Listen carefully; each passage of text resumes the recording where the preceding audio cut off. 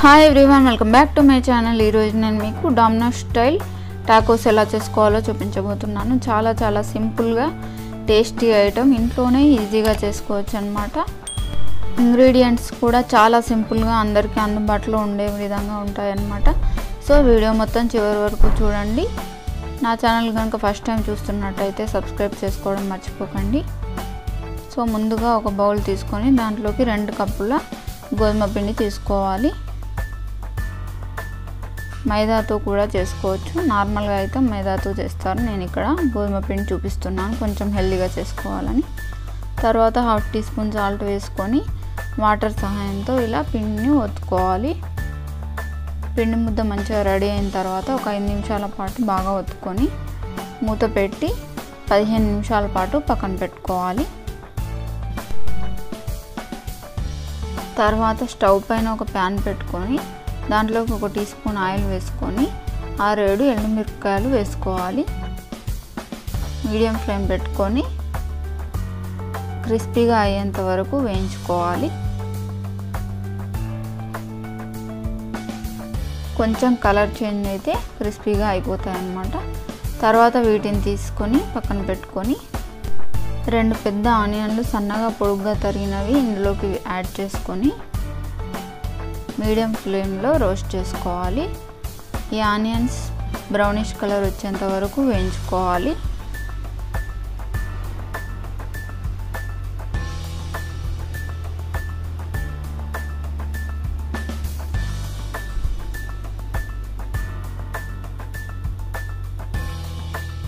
So చూసారు కదా? ఇలా బ్రౌనిష్ కలర్ వచ్చేలాగా వేయించుకోవాలన్నమాట.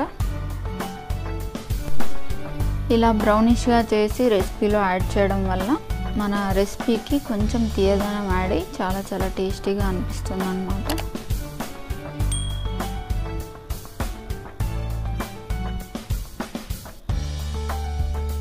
సో తర్వాత ముందుగా వేయించి పెట్టుకున్న రెడ్ చిల్లీస్ని ఇలా క్రష్ చేసుకోవాలి. లేదంటే మిక్సీ జార్లోకి తీసుకొని కచ్చాపచ్చాగా గ్రైండ్ చేసుకున్నా సరిపోతుంది.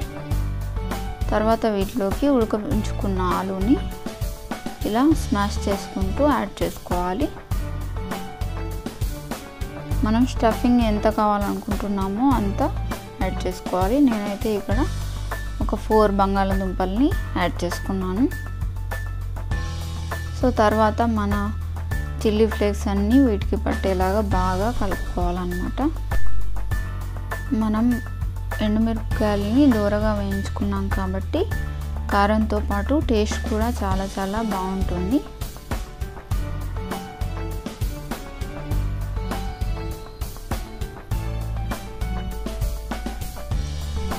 సో తర్వాత దీంట్లోకి కొత్తిమీర తరుగు తగినంత ఉప్పు వేసుకోవాలి.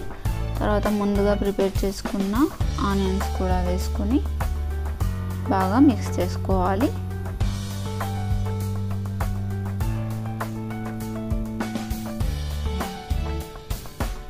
అన్నీ బాగా కలిసేలాగా ఇలా మిక్స్ చేసేసుకుంటే మన స్టఫింగ్ రెడీ అయిపోయినట్టే.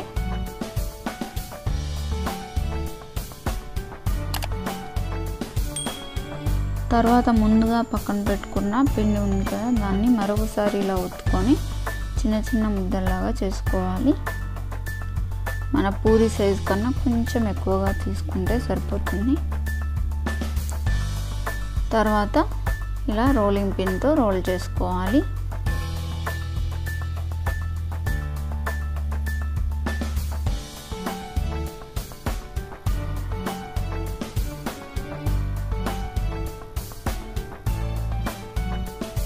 సో అలా అన్నీ ప్రిపేర్ చేసుకున్న తర్వాత ఇలా ఒక ప్యాన్ పెట్టుకొని రెండు వైపులా ఇలా లైట్గా కాల్చుకోవాలి.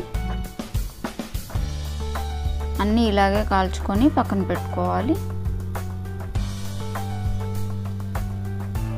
తర్వాత ఒక్కొక్కటిగా తీసుకొని ఇలా చూపిస్తున్న విధంగా స్టఫింగ్ చేసుకోవాలి. ముందుగా మనం ఆలు మిశ్రమాన్ని పెట్టేసుకొని తర్వాత దీనిపైన చీజ్ తురుము వేసేసుకోవాలి.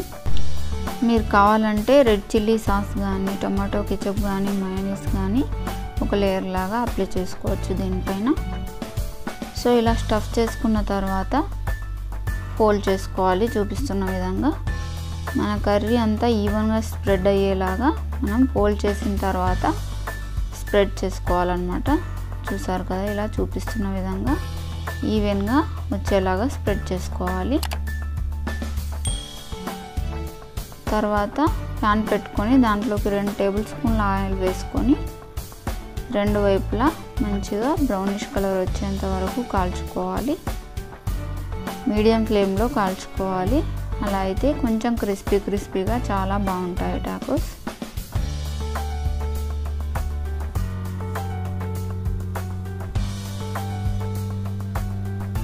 సో చూసారు కదా ఇలా రెండు వైపులా మంచిగా బ్రౌన్ కలర్లోకి వచ్చేంత వరకు కాల్చుకోవాలి.